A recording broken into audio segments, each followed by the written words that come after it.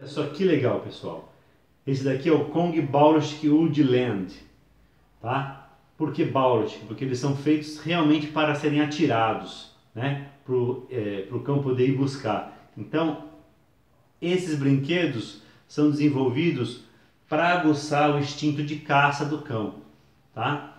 Eles são feitos numa, numa, num material meio lona, tá? Bem resistente, ó, não sei se dá para vocês verem aí, tá? Bem resistente, serve para cachorros com mordida um pouco mais forte.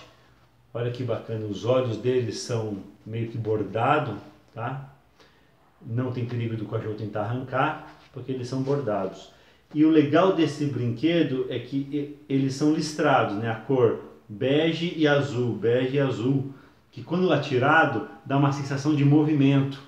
E o cachorro, na visão dele, vai achar que esse bicho está vivo.